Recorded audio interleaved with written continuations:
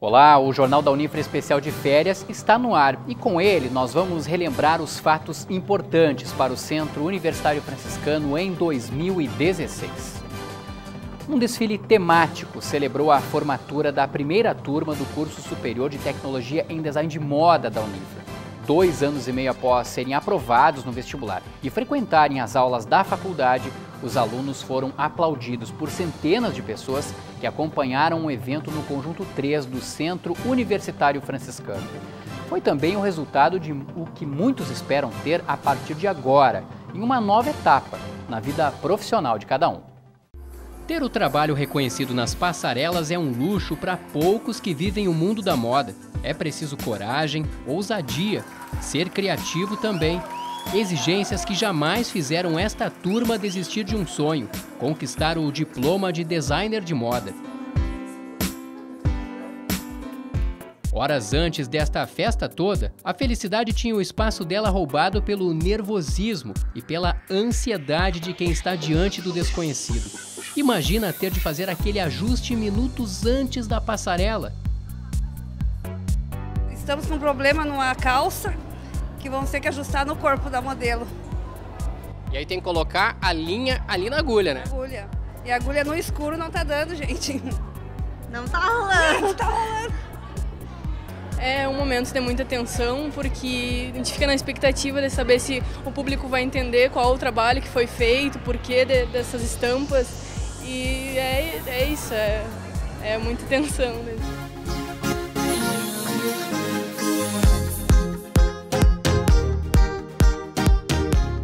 Mas é em uma hora assim que dois anos e meio de faculdade fazem diferença. A Catarina conseguiu esconder bem a ansiedade. Ela já está no mercado de trabalho antes mesmo da formatura. Nem assim deixou de lado a criatividade e levou à passarela cinco looks inspirados na moda francesa. Antes eu acreditava, eu achava que era apenas criar roupa, mas hoje é um conceito, é uma proposta, tu tem que pensar como é que a pessoa vai, vai se sentir quando ela usar mais calma, a Laís já era outra designer de moda muito realizada com o sucesso do que aprendeu em sala de aula. Para estar ali, com os outros 14 colegas, pesquisou bastante a moda infantil para crianças. Eu tinha um olhar meio bem, bem pequeno, assim, depois que entrei na, na moda ele mudou completamente e agora a gente sai com um olhar bem mais abrangente em, em todos os sentidos. E foi quando, um a um, os modelos iam surgindo na passarela que o público brindou com olhares e registros fotográficos as criações da primeira turma de design de moda da Unifra. É um momento muito lindo, um momento único para nós e é uma alegria muito grande ver uma instituição que nem a Unifra promover um curso desse ser um sucesso. Para a senhora. Para mim, eu quero agradecer a Unifra por ter dado essa oportunidade de ter criado o curso de moda, porque a nossa filha queria isso, ela teria que ter ido embora daqui. É um sonho para ela, vai ser um sucesso. o sonho dela é meu sonho. Trabalho que encheu de orgulho até quem brilha nas passarelas internacionais. A top model gaúcha Marta Streck, convidada para o evento, veio de Nova York acompanhar o desfile Lab 512 e gostou da ideia pra gente criar, pra gente, pra gente ser mais livre também. Pra gente ter designers, pra gente fazer mais criatividade, pra gente ser mais. Não só pra gente ter que ir pra Paris pra gente comprar etiqueta, mas pra gente criar. Enfim, pra gente ser livres, assim a cada turma que a gente libera para o mercado um pouquinho, muitos saem, nem todos ficam, e aqueles ali vai, vai aumentando cada vez mais o interesse, a reflexão sobre a moda, sobre a produção de moda. O aluno é um parceiro, é um colega. Então é inusitado, tem momentos que eles pensam, conseguem pensar, agilizar, fazer, ah, esse envolvimento, ah, esse espírito de coletividade, né? Um sentimento de, de festividade, de, de realização. O estilista Rui Spor, que trabalha com moda há mais de sete décadas, veio da capital para receber uma homenagem da turma de formandos. E mesmo com tanta experiência na área, ficou surpreso com o que viu da produção na noite em Santa Maria. Eu ainda estou surpreso que o que aconteceu, porque nunca em toda a minha vida profissional eu tive uma homenagem tão querida, tão bonita e tão entusiasta. Meus parabéns, parabéns ao curso de estilismo de moda. Vocês vão longe e eu farei maior propaganda. Por si só, um elogio que reforça o sucesso de um dos cursos mais novos e confirma a vocação do Centro Universitário Franciscano. Perceber os desejos dos jovens ou também dos já mais experientes e oportunizar-lhes esta, essa capacitação e esta formação. Penso que essa interlocução é essencial.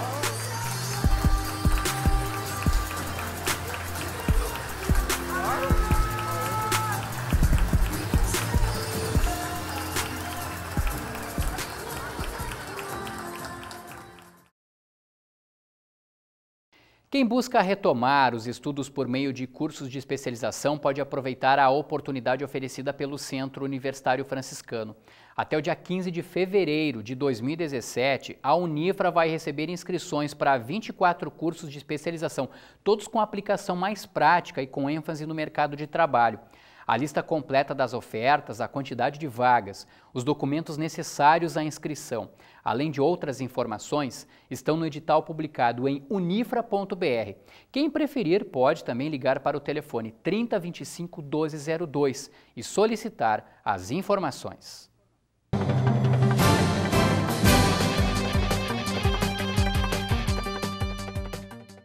Por meio da educação, milhares de jovens colaboradores e pesquisadores compartilham suas experiências em um ambiente vivo, amparado na liberdade de pensar e criar.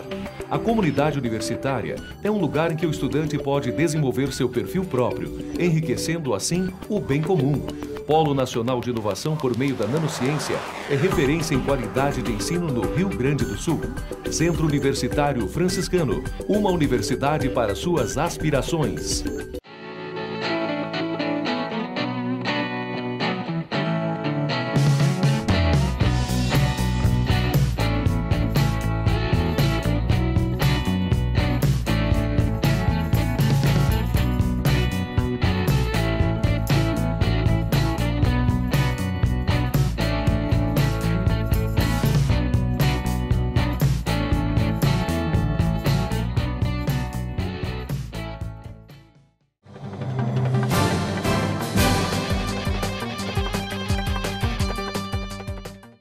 De 450 trabalhos apresentados e também após relacionar atividades com o posicionamento anual de comunicação da Unifra, o Simpósio de Ensino, Pesquisa e Extensão, o CEP, foi mais uma vez um sucesso. A vigésima edição do evento teve como tema central Educar Pessoas para Transformar o Mundo e movimentou os três conjuntos do Centro Universitário Franciscano na primeira semana do mês de outubro.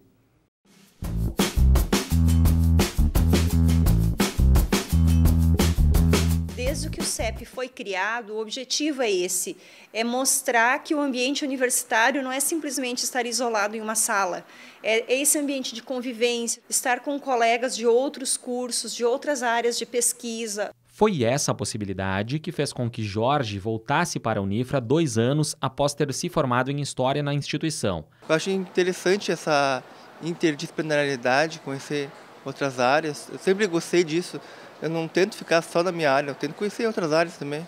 E oportunidades não faltaram. Durante os três dias de programação foram diversas atividades, divididas em 12 eixos temáticos, além de 454 trabalhos inscritos. Desse total, 278 foram de apresentações orais. Ele é um evento que envolve todos os cursos, de graduação e de pós-graduação. Ou seja, é um momento em que não se diz é um evento de um curso ou do outro. Todos devem estar inseridos, engajados. Então, eu acho que esse é um aspecto bastante importante do CEP. A apresentação dos pôsteres aconteceu nos últimos dois dias do Simpósio de Ensino, Pesquisa e Extensão e foi realizada no hall do Prédio 15. Foram 176 trabalhos inscritos. E para não fazer feio durante as apresentações, teve até quem decidiu dar aquela ensaiadinha básica.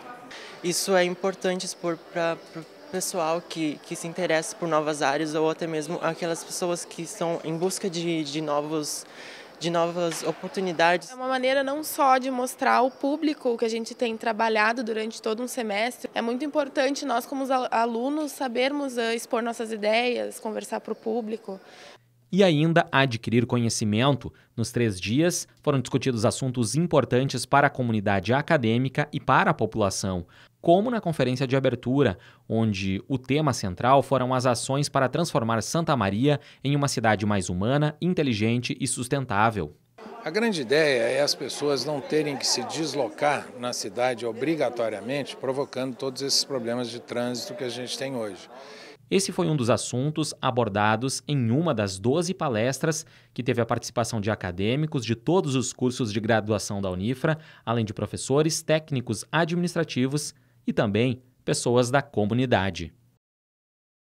A incubadora tecnológica do Centro Universitário Franciscano vai ampliar as instalações e dar oportunidade a mais projetos empreendedores da comunidade em 2017. O primeiro painel ITEC mostrou o trabalho desenvolvido pela agência desde a criação dela, há quatro anos, e também antecipou novidades às empresas instaladas na incubadora. Criada em 2011, quando dava abrigo a apenas três projetos, a incubadora tecnológica da Unifra deu um salto gigantesco ao garantir ajuda para 16 empresas, 11 delas só este ano. O local que seleciona e oferece espaço a ideias inovadoras da comunidade cresceu tanto e tão rápido que agora é preciso se reestruturar. E a partir daí, a partir deste momento, nós estamos uh, encontrando novas formas de nós aumentarmos também as oportunidades de novos empreendimentos estarem sendo apoiados pelo Centro Universitário Franciscano e pelos ambientes de inovação. Iniciativas que devem permitir a ocupação de 100% das salas por 18 empresas dos mais variados segmentos. Os desafios que levam a estes números foram apresentados no primeiro painel ITEC, entre as mudanças estão o envolvimento ainda maior de todos os cursos de graduação da Unifra, o funcionamento 24 horas por dia do local, uma reforma em salas e corredores, além da constituição de um curso à distância sobre gestão e empreendedorismo. Situações que podem movimentar 2 milhões e meio de reais na economia local em 2017. Esses números econômicos, eles credenciam a instituição como um dos grandes fomentadores do desenvolvimento econômico, mas não só isso, também social, porque por trás desse movimento financeiro, nós temos a transformação de uma realidade social de diversas famílias, que de alguma forma estão ou dentro dos empreendimentos apoiados, ou de alguma forma são beneficiadas pelos produtos e serviços oferecidos por essas empresas. São quatro anos passados já nesse trabalho e de um aprendizado conjunto. Notamos que está dando certo e a felicidade é de ver que os jovens encontram aqui esse ambiente, como eu, eu frisei para eles, colaborativo, de não concorrência, de, de, de respeito pelas ideias, também de, de complementação das ideias mas sempre um lugar de estudo e de aperfeiçoamento. E que se encaixou perfeitamente para a ideia do Matheus e do Eduardo. Os dois criaram um site onde as compras do supermercado podem ser feitas pela internet. A economia sugerida por eles, neste caso, é de algo bem precioso hoje em dia: o tempo. Então a gente pensou como é que a gente podia suprir essa, essa demanda, né, essa dor do consumidor. Foi quando a gente teve a ideia então de fazer um supermercado online onde tu possa pedir tuas compras pela internet e recebê-las em casa. O mercado que é o nosso parceiro já vai ter separado os produtos, nós recolhemos os produtos e entregamos na casa da pessoa no horário que ela agendou. E a pessoa então efetua o pagamento e recebe o pedido. É um mercado do futuro, né? Tomara. O mesmo futuro que cada vez mais vai premiar as ideias que surgem de uma incubadora tecnológica, como a da Unifra.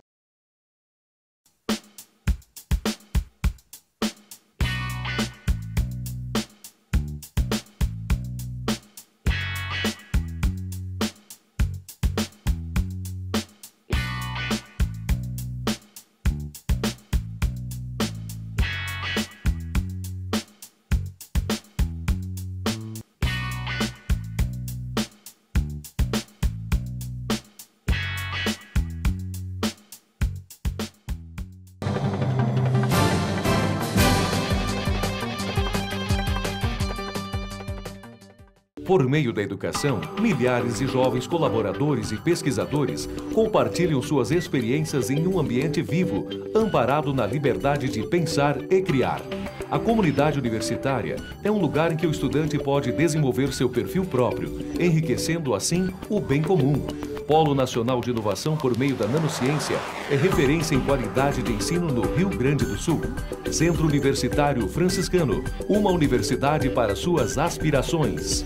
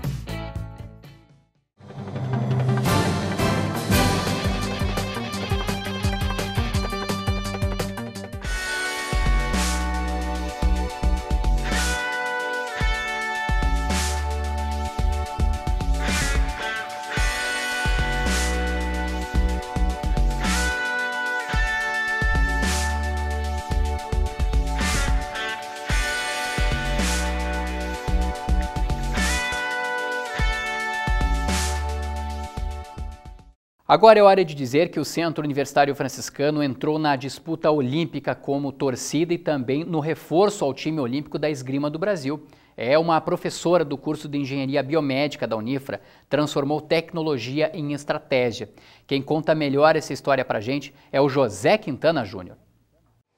Além da canoagem com o atleta Gilvan Ribeiro, o Centro Universitário Franciscano teve a participação nos Jogos Olímpicos de uma outra forma com a professora Maria Isabel, mas durante a preparação dos atletas da esgrima. Professora, como é que se deu essa preparação que ocorre desde 2014 em parceria com outras instituições na preparação e melhoria de performance desses atletas? É, a, a gente estava é, participando de um projeto que visa desenvolver uma plataforma virtual, uma plataforma digital para treinamento de atletas de esgrima. E a gente teve a participação durante esse processo do desenvolvimento da plataforma, que é um projeto do Instituto Nacional de Tecnologia do Rio de Janeiro, coordenado pela professora Carla Patrícia Guimarães, em parceria com o Laboratório de Análises de Estudo do Movimento do, do, da Universidade Presbiteriana Mackenzie, lá em São Paulo, coordenado pela professora Sônia Cavalcante. É, a gente teve a participação desses atletas de esgrima da, da equipe olímpica. Alguns dos atletas da equipe olímpica foram avaliados.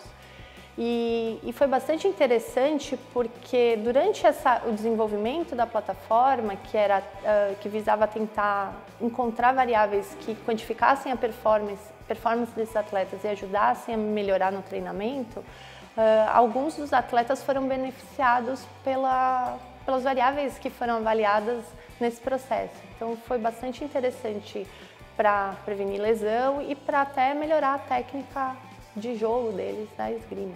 Basicamente, como é que funciona o laboratório, desde a questão do, do que, que é colocado no corpo dos atletas e como é que funciona o processo durante e depois a releitura dos dados coletados durante o processo? É, a gente trabalhou basicamente com dois equipamentos. A minha função foi mais fazer o estudo do movimento, avaliando a parte de análise uh, visual de, dos atletas. Né? Ela é feita colocando marcadores retrorefletivos no corpo e filmando o movimento do atleta. Então a gente usa um sistema com 18 câmeras que são câmeras optoeletrônicas, elas emitem luz assim na faixa do infravermelho, elas refletem nesses marcadores que a gente coloca no corpo do atleta e volta para a câmera e a gente reconhece a posição desses marcadores e a posição desses marcadores ajuda a gente a reconstruir o movimento todo do atleta. Um outro software de análise ele é usado para reconstruir o movimento do atleta e quantificar variáveis relacionadas ao movimento da articulação, ao movimento do centro de massa, então uh, variáveis de velocidade, aceleração, posição, que são importantes para a gente entender o gesto esportivo e detalhes que não, que não são possíveis ver a olho nu. Basicamente, o grande ganho com esse projeto é evitar as lesões dos atletas e também a, melhor, a melhora da performance deles. É, a gente consegue analisar o gesto, analisar detalhes dos gestos que podem ser melhorados e também verificar se não tem algum movimento que o atleta está fazendo que possa, uh, por diversas repetições, gerar alguma lesão. Então, passar esses parâmetros tanto para o técnico para melhorar o gesto, quanto para os preparadores para melhorarem a preparação física dos atletas. Agora uma pergunta mais no cunho pessoal, professora. É, o que significa participar, um professor aqui do Centro Universitário Franciscano aqui de Santa Maria, Rio Grande do Sul, participar na formação, na preparação desses atletas agora para os Jogos Olímpicos? Ah, eu, eu sou aficionada por esporte, eu, eu acho a Olimpíada um evento incrível, né? Tenho falado das Olimpíadas para os meus colegas aqui há várias semanas. É, eu acho que contribuir por um pouquinho que seja, um pouquinho, é, para mim é, é, eu que sou uma pessoa que não tem concentração e disciplina para ser atleta, mas que adora esporte, para mim é contribuir um pouquinho para o desenvolvimento não só do esporte, que eu acho que é uma coisa bastante importante para a formação pessoal de todos, mas também da biomecânica no país. Então, acho que é, para mim é bastante gratificante. E o quanto que tu acredita, professora, que essa experiência, né, desde 2014 da senhora, possa dar continuidade agora para novos projetos, novos implementos e ajudar a desenvolver não só o esporte da esgrima, mas também novos projetos dentro da engenharia biomédica. Eu acho que a grande, a, então a grande contribuição desse projeto, é, eu acho que foi um, um diferencial, foi esse trabalho em equipe multidisciplinar. Então, eu pude participar com pesquisadores do Instituto Nacional de Tecnologia que trabalham ah, na área de ergonomia. Eu trabalhei com, é, com, profissionais de educação física, atletas profissionais, treinadores, e, e eu acho que tudo, essa informação dessas diferentes áreas, né, isso agrega para o esporte porque é, torna mais palpável para os atletas e para os técnicos essas informações que estão saindo aqui. Para cá, a gente ganha a experiência de poder aplicar isso no esporte de Santa Maria, né?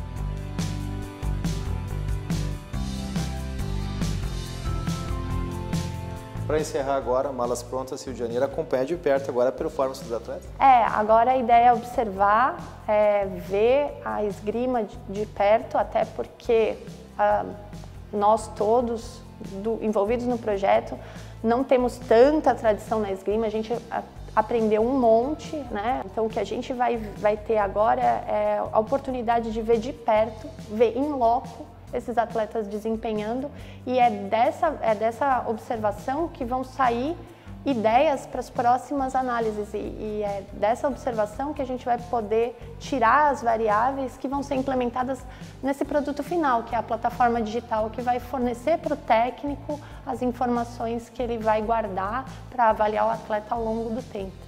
Então, mais informações vendo em loco, vendo a luta, a gente vai poder saber o que mais que a gente vai tirar desses dados que a gente já coletou desses atletas. Perfeito. Professor, muito obrigado pela gentileza, um pouquinho antes da viagem e boa sorte na sequência do projeto. Muito obrigada, obrigada pelo interesse e espero que tenhamos sorte nessa Olimpíada com muitas medalhas. Esta edição do Jornal da Unifra vai ficando por aqui. Você também pode acompanhar a nossa programação pelo nosso canal do YouTube, o Unifra Online. Um grande abraço a todos e até mais.